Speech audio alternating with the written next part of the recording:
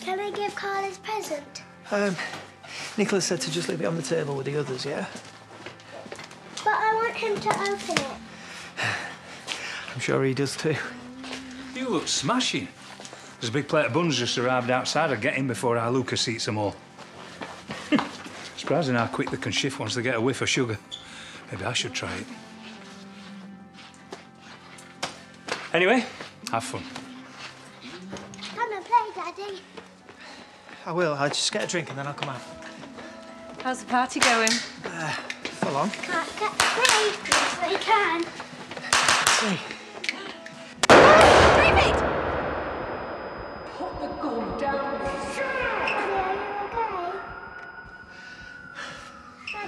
Okay?